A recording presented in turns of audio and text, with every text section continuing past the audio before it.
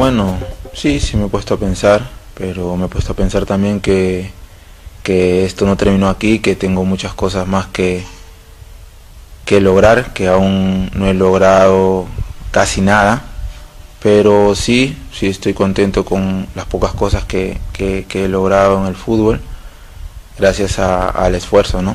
Y lo más lindo que me tocó vivir es, eh, bueno, estar en la selección cuando tenía 17, 18 años, ¿no? Cuando me hicieron debutar en la selección, eso fue lo más bonito.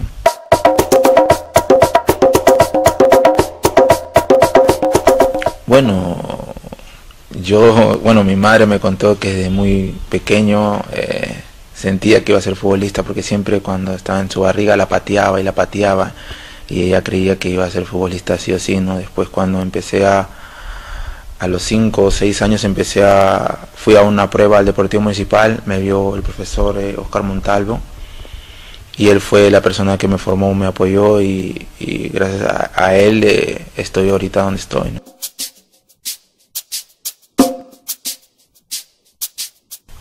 De verdad que del pasado me siento orgulloso de, muchos jugadores como César Cueto, Teófilo Cubillas, ¿no? Eh, siempre los he admirado y ahora en el presente, bueno, de, que Paolo Guerrero, ¿no? que, es mi, que es como mi hermano, lo conozco de muy pequeño y he venido viendo el crecimiento de él desde, desde, desde que éramos muy chicos, ¿no? y de verdad eh, para mí lo que le está pasando a él, para mí es un orgullo muy grande, ¿no? Porque he crecido con él jugando y, verlo triunfar, para mí es una alegría enorme porque conozco, bueno, toda la familia de él, ¿no? Y es algo muy bonito, ¿no? Y bueno, hay muchos jugadores más que también triunfan en Europa, ¿no? Eh, eh, que también me deja muy contento.